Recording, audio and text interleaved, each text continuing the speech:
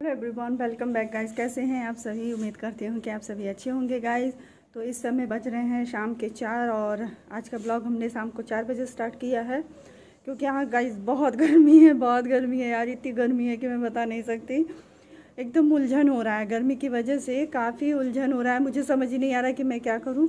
बार बार मुझे लग रहा है शायद कैमरा सही नहीं है क्या? मतलब कुछ अंधेरा टाइप का लग रहा है, लेकिन धूप बहुत तेज़ है यहाँ पे। और इतनी अधिक गर्मी है कि मैं बता नहीं सकती और मैं इस अभी अभी मैं तुरंत आधे घंटे पहले ही उठ के आई हूँ। अभी किचन का काम सारा पड़ा हुआ है, किचन का काम मेरा नहीं हुआ है। और यहाँ देखिएगा मेरा डार्क सर्कल जो था, ये ख़त्म हो गया है धीरे धीरे मुझे लग रहा है कि यह ख़त्म हो गया है।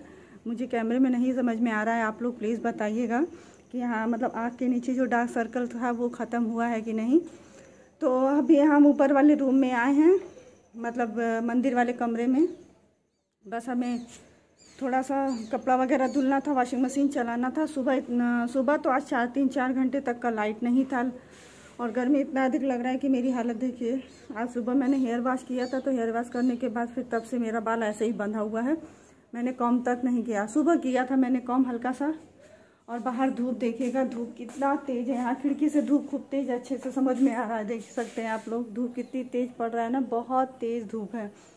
तो फिर चलिए हम थोड़ी देर के लिए अपना ऊपर का काम फिनिश कर लेते हैं। और हाँ आप लोगों से रिक्वेस्ट है कि जो लोग न्यू हो, वो प्लीज़ मेरे चैनल को सब्सक्राइब ज़रूर कीजिएगा। बिना सब्सक्राइब किए मत जाइएगा। और बेल आइकन को ज़रूर प्रेस कीजिएगा यार। और लाइक और शेयर भी कीजिएगा। वीडियो पसंद आता है और कमेंट्स करके बताना मत भूलिएगा कि आज का ब्लॉग आप लोगों को कैसा लगा। मुझे लग रहा है कि मैं बिंदी थोड़ा बड़ा लगा रही हूँ क्या? थोड़ी छोटी बिंदी में लगा लूँ।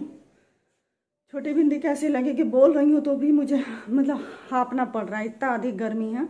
जबकि अभी तुरंत हम पानी पी करके आए हैं उसके बाद भी। तो फिर चलिए देर नहीं करती हूँ मुझे अभी यहाँ कपड़े वगैरह धुलने में। ये देखिएगा कपड़े का ढेर यहाँ पड़ा हुआ है। कपड़े का ढेर भी पड़ा हुआ है मशीन भी लगा हुआ है क्योंकि सुबह लाइट नहीं था इसलिए सारा जैसे कहते ऐसे पड़ा हुआ था। और आज तो मोटर यानी पानी का पा, मोटर चलाना भूल गए थे तो पानी भी नहीं था। तो फिर चलिए लेट नहीं करती हूँ मिलती हूँ फिर अगले थोड़ी sorry sorry sorry sorry sorry थोड़ी देर में आप लोगों से और इतना काम मैं फिनिश कर लूँ पहले। क्योंकि इतना करने में ही मुझे कुछ टाइम तो बहुत लगेगा। इधर हम काफ़ी दिनों बाद वॉशिंग मशीन चला रहे हैं क्योंकि गर्मी है तो गर्मी में हाथ से ही कपड़ा धुल जाता था। तो मशीन चलाने की ज़रूरत कम पड़ती थी। दो चार कपड़े मैं वैसे हाथ से ही धुल लिया करती थी क्योंकि गर्मी में फिर वॉशिंग मशीन ऊपर हमने किया है तो फिर ऊपर गर्मी में आके काम करना पॉसिबल नहीं हो पा रहा था। और बीच में बारिश भी कभी कभी हो जा रहा है लेकिन यहाँ अभी दो ही तीन दिन पहले बारिश और काफ़ी तेज़ हवा यानी आंधी वगैरह था लेकिन फिर भी अभी बहुत अधिक गर्मी है। तो गाइज़ यहाँ पे कपड़े वगैरह को अच्छे से धुल जाएँगे और पूरे कपड़े धुलने में मुझे तकरीबन एक से डेढ़ घंटे का टाइम लग गया था। एक डेढ़ घंटे बाद फिर मैं आती हूँ नीचे और यहाँ पर हम आज शाम को चार बजे से लेके शाम तक का ही रूटीन मैं आप लोगों के साथ शेयर कर रही हूँ। वैसे मैं करना और बहुत बहुत चाहती थी कि जो भी मैंने कुछ किया है, वो सारा मैं आप लोगों के साथ शेयर करना चाहती थी, लेकिन गर्मी की वजह से ये पॉसिबल नहीं हो पाया। फिर आप समझ ही सकते होंगे कि मतलब ब्लॉग शूट करने के लिए एक जगह से दूसरी जगह मतलब कैमरे को ले जाना, फिर सेट करना, इस तरीके से सेट करना कि जो मेरी एक्टिविटी है, वो सारी आप लोगों को दिखती रहे।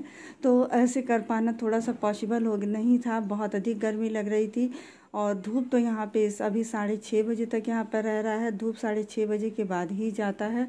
तो एक एक करके मैं अभी डेली वाले कपड़े पहले धुल रही हूँ, जो कि रोज़ वाले कपड़े थे। क्योंकि इधर दो दिन से लाइट भी बहुत अधिक परेशान कर रहा था तो मैं हाथ से भी नहीं धुल पा रही थी। तो वीडियो पसंद आए तो प्लीज़ आप लोग लाइक और शेयर कीजिएगा और कमेंट्स करके बताना मत भूलिएगा कि आज का ब्लॉग आप लोगों को कैसा लगा।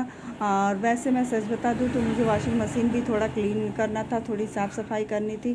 काफ़ी दिनों से मैंने मशीन की भी साफ़ सफ़ाई नहीं की है। तो आज मेरा शाम का जो रूटीन है, जो बिज़ी रूटीन है, मैं वही आप लोगों के साथ शेयर कर रही हूँ। उम्मीद करूँगी कि आज का ब्लॉग आप लोगों को पसंद आएगा। तो गाइज़ अभी यहाँ पे हो चुका है। अब मैं यहाँ कुछ कपड़े डाल दूँगी चलाने के लिए। जब तक ये कपड़े धुलेंगे, तब तक मैं आ जाती हूँ नीचे क्योंकि खाना वगैरह सभी ने खा लिया है और किचन का भी काम मैंने औसतन ख़त्म ही कर लिया है। किचन का अब, अभी शाम का काम हो, ख़त्म फिनिश हो चुका है।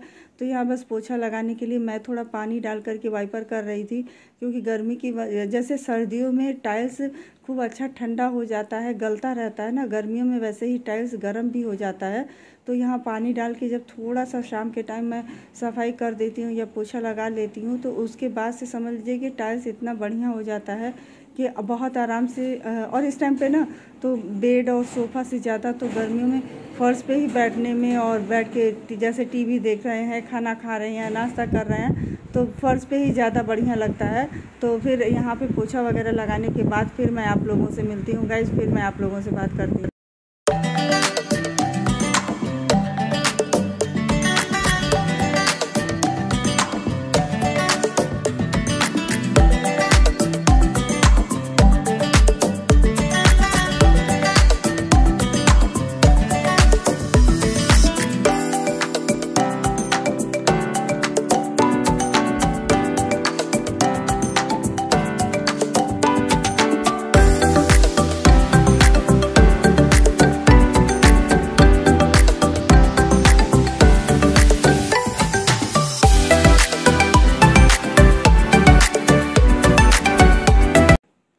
गर्मी इतना तेज़ पड़ रहा है ना कि अगर शिमला नैनीताल जाने को मिल जाए तो वहीं पे अब सुकून मिल सकता है और यहाँ शहर में तो नहीं मिल सकता है। तो यहाँ हल्दी का मतलब डिब्बा था तो इसको हमने धुला था सुबह तो वो अभी सूख गया है। तो बस ऐसे हल्दी मैं रोज़ के लिए निकाल ले रही हूँ और ये तो बड़े डिब्बे में मैं इस तरीके से रखती हूँ, जिससे कि हल्दी ख़राब नहीं होता है, वरना पानी वगैरह का हाथ लग जाने से इसमें घून और कीड़े भी लग जाते हैं, लेकिन ऐसे हल्दी हमारा छः से सात महीने तक आराम से चल जाता है। कभी कोई दिक्कत नहीं आती है तो यहाँ चाय वगैरह भी सबने पी लिया है। तो अब मैं शाम के लिए बनाने जा रही हूँ मतलब बनाने जा ही रही थी।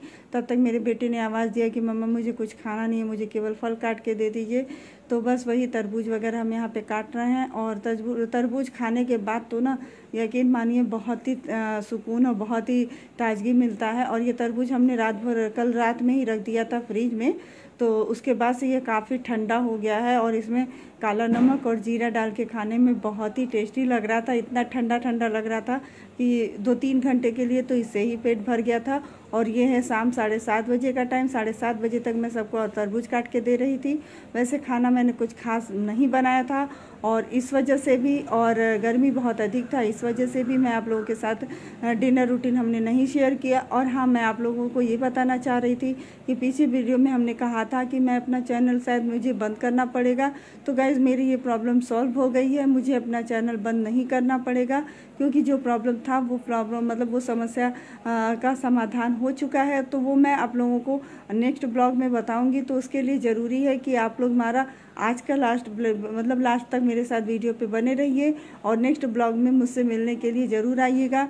तो यहाँ बच्चों को हमने तरबूज वगैरह काट के दे दिया है तो बस अभी सारा बर्तन वगैरह मैं हटा देंगी, क्योंकि अब इसके बाद मुझे सबसे पूछना है कि खाने में क्या बनेगा, किसको क्या खाना है।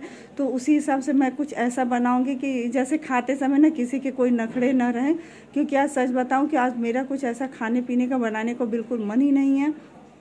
क्योंकि हवा के नीचे बैठे हुए रहने पे भी पंखे का हवा जैसे बिल्कुल पता ही नहीं चल रहा, लग ही नहीं रहा है। तो अभी सारा मतलब सुबह दोपहर में हमने जो कपड़े वगैरह चलाए थे तो उसको वॉशिंग मशीन में से मतलब चलाने के बाद मैं वही चादर मतलब दूसरा वाला बिछा दे रही हूँ कॉटन का, क्योंकि सिंथेटिक कोई भी बेडशीट बिछाओ ना तो फिर जैसे वो लग रहा है ना कि बॉडी में चुभता है, चुभन जैसा हो रहा था। तो कॉटन का ही बेडशीट मैं बिछा रही हूँ यहाँ पे और बेडशीट बिछाने के बाद अभी मैं जाके थोड़ी देर के लिए रिलैक्स फील करूँगी। फिर मैं क्योंकि अभी किसी को कोई भूख लगा नहीं था, किसी को कुछ खाना नहीं था, तरबूज खाने के बाद सबका पेट भरा हुआ लग रहा था तो किसी का मूड नहीं था खाने का तो इसलिए मैंने भी कुछ टेंशन नहीं लिया। तो रात में रात में केवल हमने बनाई थी सिंपल सी रोटी और सब्ज़ी, कुछ और अधिक कुछ बढ़िया खास विशेष मैंने नहीं बनाया था इसीलिए मैं आप लोगों के साथ शेयर नहीं कर पा रही हूँ। तो बेडशीट बिछाने के बाद मेरा आ, मुझे कम से कम एक डेढ़ घंटे तक यानी दस बजे रात तक मुझे थोड़ा सा रिलैक्स हो जाता है। दस बजे मैंने कुछ थोड़ा बहुत बनाया वो भी बहुत हल्का ही मैंने बनाया था। तो आज का इवनिंग का ब्लॉग आप लोगों को कैसा लगता है तो प्लीज़ बताना मत भूलिएगा। वीडियो पसंद आए तो लाइक और शेयर कीजिएगा और कमेंट्स करना मत भूलिएगा गाय तो इधर हमने चादर बिछा दिया है तो अब मैं चलती हूँ उस वाले कमरे में। उधर वाले रूम में मुझे चादर बिछाना है। तो मिलती हूँ फिर अगले ब्लॉग में। तब तक के लिए bye bye good night, take care.